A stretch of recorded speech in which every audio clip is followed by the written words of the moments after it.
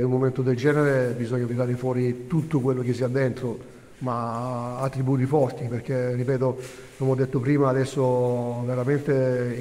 inizia, partiamo da zero, inizia un campionato, partiamo da zero, sappiamo che tutte le partite sono difficili, ci sono degli ostacoli e dobbiamo essere bravi nel, nel superarli.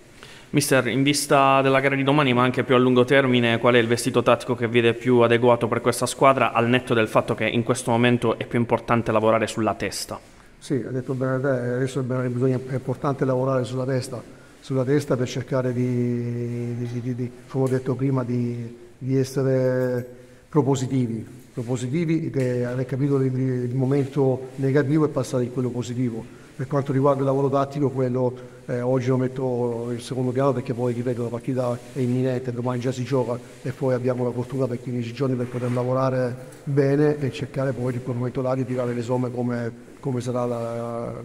il, il, futuro. Deve essere pronto, altrimenti è guai. Cioè, senso, se non, eh, questa è la prova del nome, no?